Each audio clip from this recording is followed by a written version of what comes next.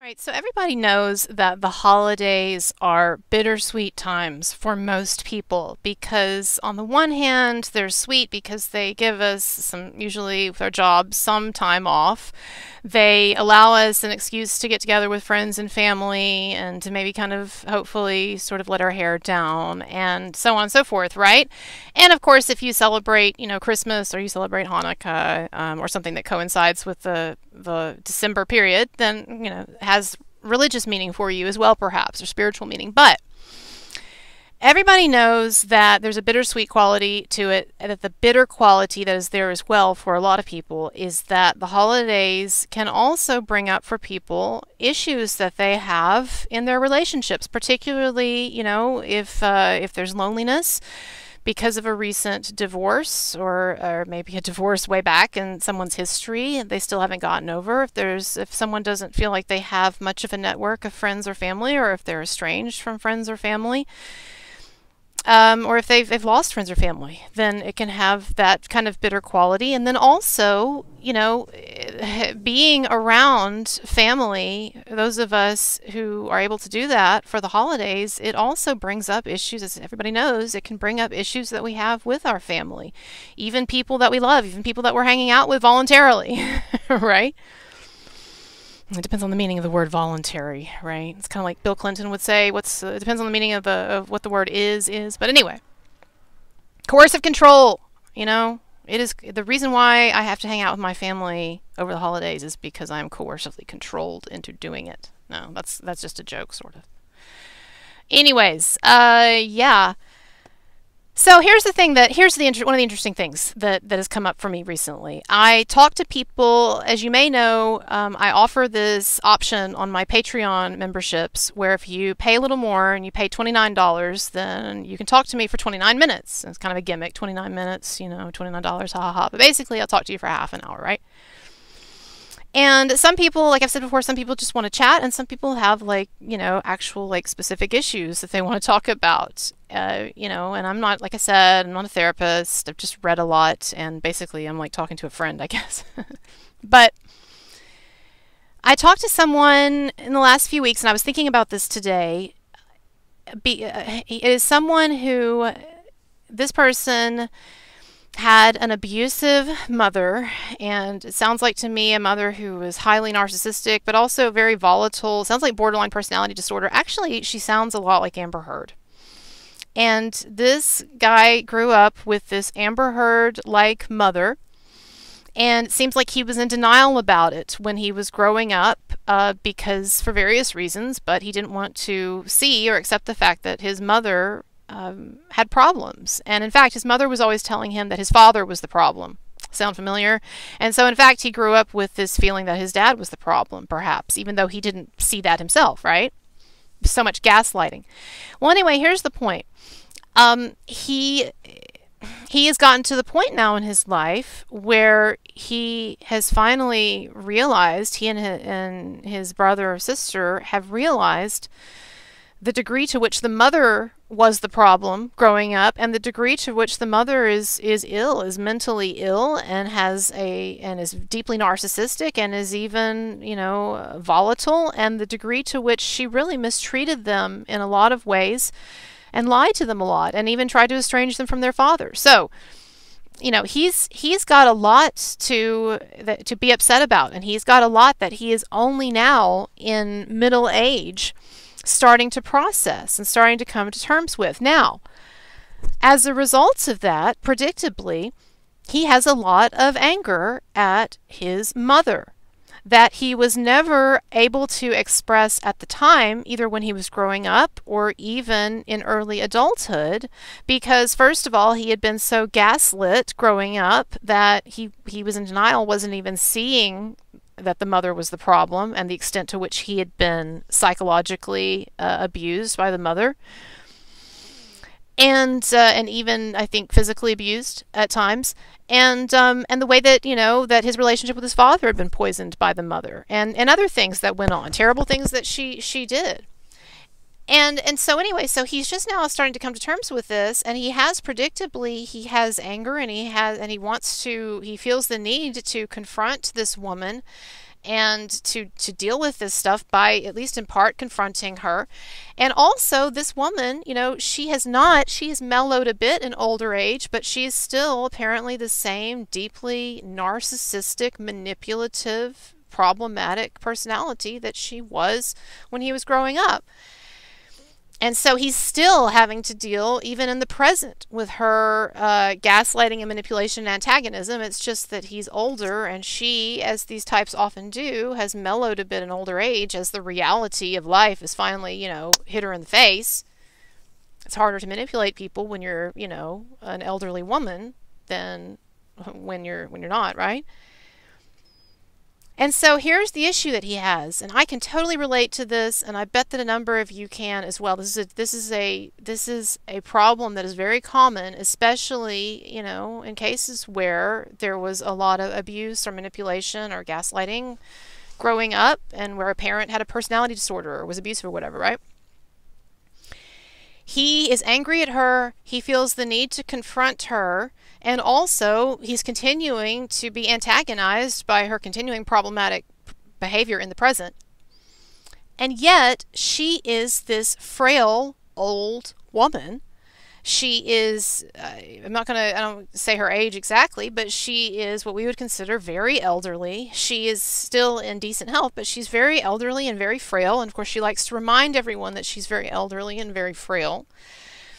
You know, guilt is apparently a big thing with her, generating guilt in other people.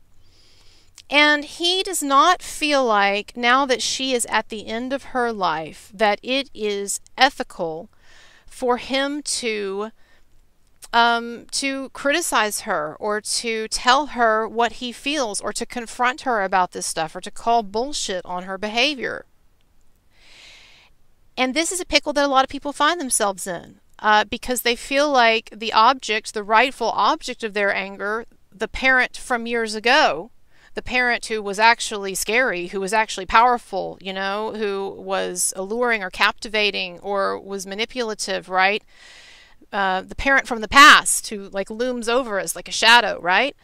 People want to confront that, but they can't because that window of opportunity is gone and time has moved on and now this person this parent has become this elderly pathetic pitiful you know i'm sorry no no insult to people who are aging. I'll be there soon right?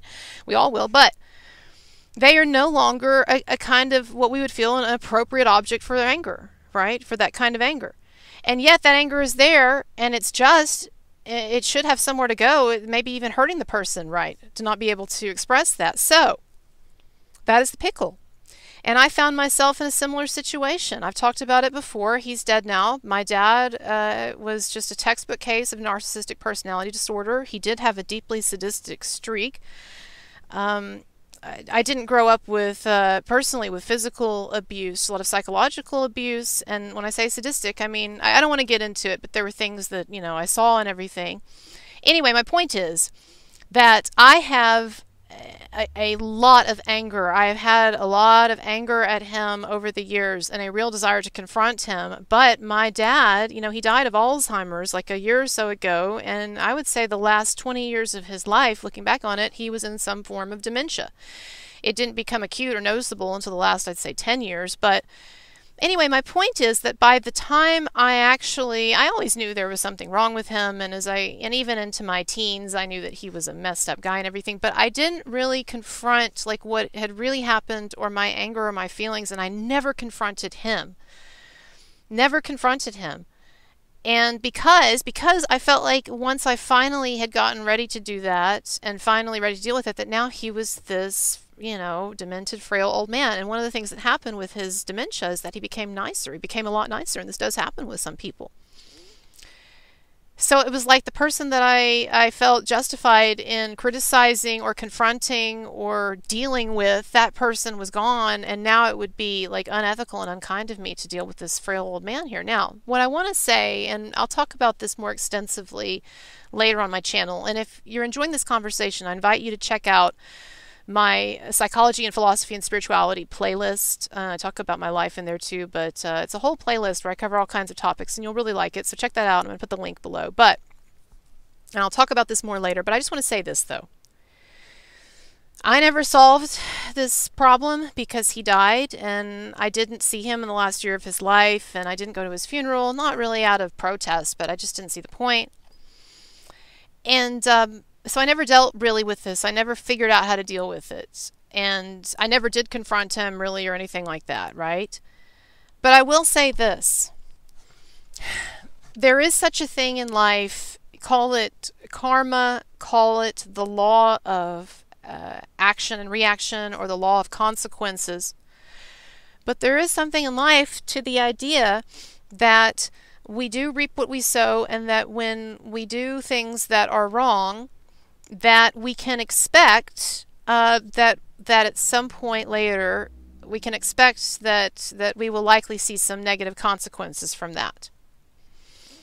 And I say that because most look with most things in life when you do something wrong or you do something unwise or unethical or whatever you know sometimes you see the bad results of that immediately you know like if you're mean to someone and then they react negatively toward you right or they stop being your friend or whatever or you know you, that consequence is maybe kind of immediate or like um if you do something wrong, illegal, and you get caught by the cops, you know, that consequence is immediate. Or if you're being, you know, you cheat on your girlfriend or your boyfriend, they break up with you, that consequence is immediate, right? But sometimes in life, often in life, there are things where the the action takes place and then the consequences of that may not become fully apparent or may not fully arise until years or even decades down the road. However, the fact that those consequences were delayed does not negate the fact that they are still consequences of a, a, valid consequences of an earlier behavior. And so, what I'm trying to say is this it is easy to look at an elderly man or woman, particularly if they are your parent. And so, let's say, though, it's easy to look at an abusive or formerly abusive parent who is now an elderly man or woman and to say, well, I can't confront them or I can't bring up things from the past or whatever because look at them, they're pitiful, they're old or elderly.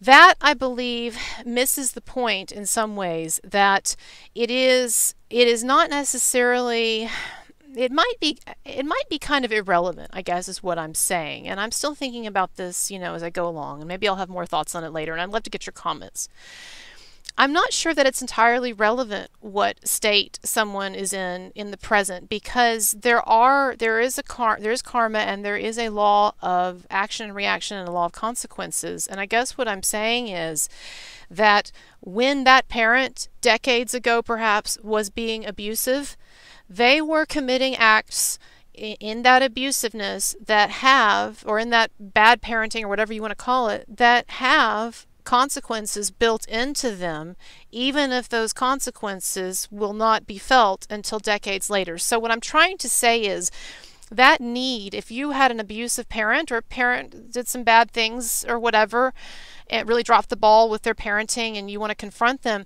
that need that you have is a is a kind of a natural consequence and even a kind of a moral, perhaps an ethical consequence to the behavior that they thought they got away with in the past because sometimes life lets you get away with behavior just by the nature of how things are set up right? The the child is in a vulnerable position relative to the parent.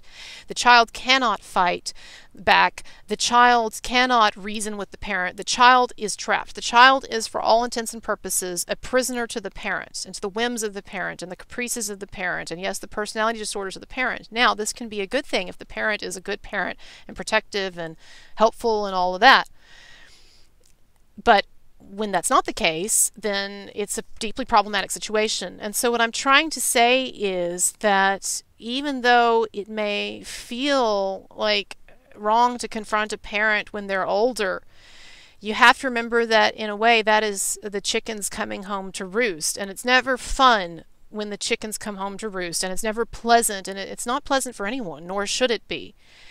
And yet, there is a kind of still a sort of logic to the chickens coming home to roost.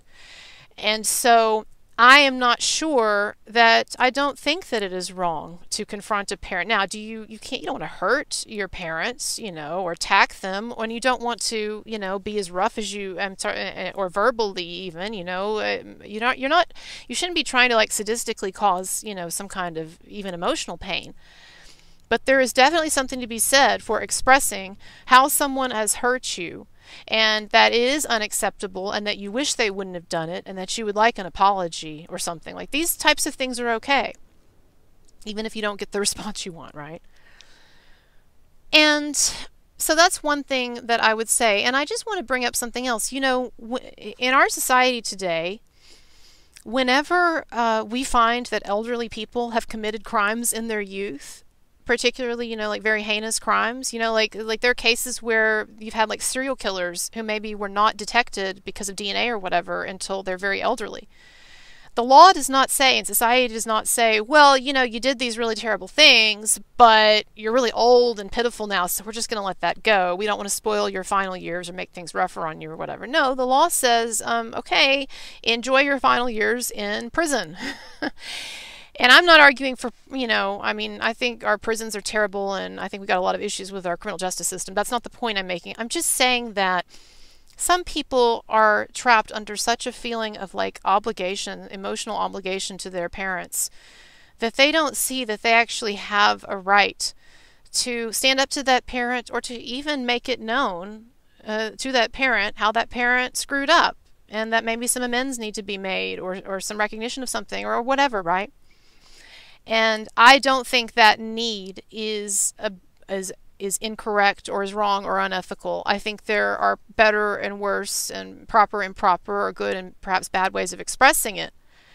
But I don't think it is something that automatically ethically has to be turned away from.